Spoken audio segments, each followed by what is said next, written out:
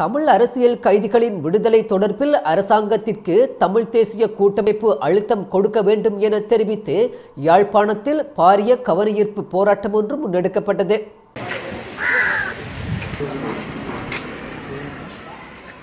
தமிழ் அரசியல் கைதிகளின் விடுதலை தொடர்பில் அரசாங்கம் தொடர்ந்தும் பாராமுகமாக செயற்படுவதாக அரசியல் கைதிகளின் உறவினர்கள் தெரிவித்திருக்கிறார்கள்.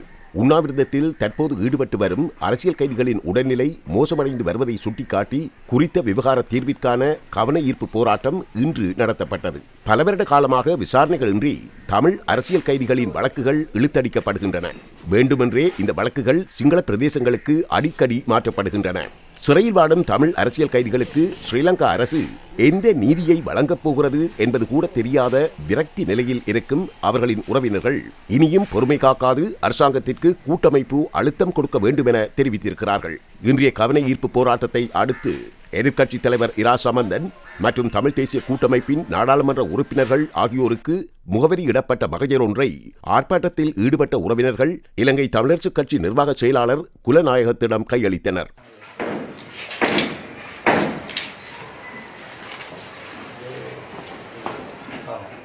இதேவேளை தமிழினத்தை பிரதிநிதித்துவம் செய்வதாக கூறிக்கொள்ளும் சம்பந்தப்பட்ட கூட்டமைப்பு தலைவர்கள் இந்த விவகாரத்தில் தலையிட்டு இந்த பிரச்சினைக்கான தீர்வை எட்டி கைதிகளின் உண்ணாவிரத போராட்டத்தை நிறுத்த வேண்டும் என கோரப்பட்டுள்ளது. கூட்டமைப்பினர் இதற்கான தீர்வை எட்டாத பட்சத்தில் மீண்டும் பாரிய போராட்டத்தில் தாம் ஈடுபடுவோம் என அவர்கள் எச்சரித்திருக்கிறார்கள்.